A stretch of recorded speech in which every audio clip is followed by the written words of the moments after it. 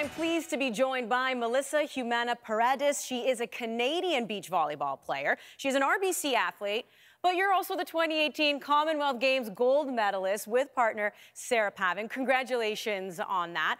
RBC training ground. We talk a lot about that on Road to the Olympic Games. Uh, being an RBC athlete, seeing this type of program, how important is it and beneficial do you think it is for a lot of these young athletes to get paired with national programs? This program is one of a kind. It's so unique and it is just a game changer for young athletes that are looking to develop those skills and kind of break through to that next level. I think having a program like like this is crucial on so many levels. It gives that young athlete the resources, the guidance, um, and the help that they need to take it to the next level. When you're young, you don't really know what you're doing. So to be able to have um, a program that pairs you with national sport organizations, um, I think is really invaluable. Now, when did you know you found your sport? I had a very organic entrance to the sport. I was kind of lucky in that sense that um, I was a toddler when I found out that I wanted to play beach volleyball because of my dad. Uh, he kind of instilled it in me, and so I started playing when I was 12.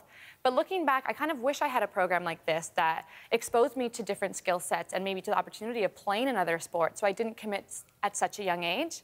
Um, but uh, I knew at a very young age that beach volleyball was my calling success. You've medaled at the under 21s, under 23 world championships. You've also won on the world tour circuit. You and your partner, uh, Sarah Pavan, you're ranked third overall in the world right now, and as mentioned, Commonwealth Games gold medal.